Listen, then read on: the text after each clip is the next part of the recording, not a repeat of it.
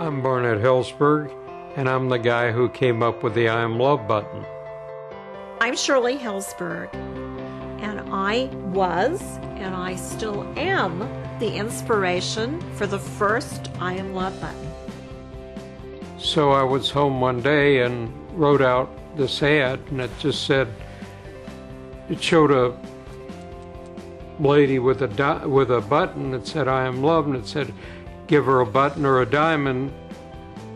The diamond is fifty to five thousand dollars. The button's free, but tell her she's loved. I actually um, was the um, time buyer, radio TV time buyer for Helzberg Diamonds. And so I worked with some of the other people at Helzberg's and really had never met Barnett. A friend of ours named Neil Oliver purposely wanted to introduce me to Shirley Bush, and I got the phone number, and I lost the phone number, and I got the phone number again, and I called her, and we went out, and it was a very unsuccessful date. So he didn't call for about two or three months.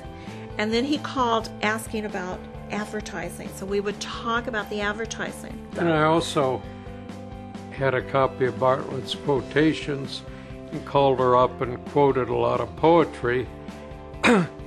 Unfortunately, after we got married, she found the Bartlett's quotations. I thought I thought he was so brilliant because he had, you know, parts of all these different poems and, and I just oh my gosh, she's just amazing. Well, it was pretty simple.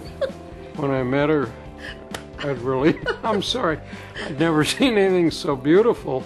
I liked the way he walked because he walked really fast and, and I liked watching him from the back. He always looked like he was had a mission and I was very attracted to the way he moved.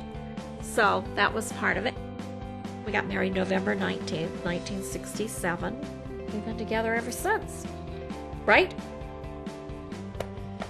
Just understand there's ups, there's downs, and you're might be awful lucky to have somebody there and you won't be able to see yourself without him probably after a while. I think it's romantic the way Barnett pats me. He he puts his arm around me and my and he pats me and, and he hmm. kisses me really hard on the cheek. It's really sweet. It's really cute. I know she loves me when she makes the bed, even though I'm supposed to when I'm the last guy to wake up. When she puts her hand in mine at the movie or at night. I know Barnett loves me because it's the feeling of comfort that you feel um, secure. Um, I think it sort of grounds you. It's a happy feeling. It's really happy. I guess it's kind of radioactivity on a very safe level.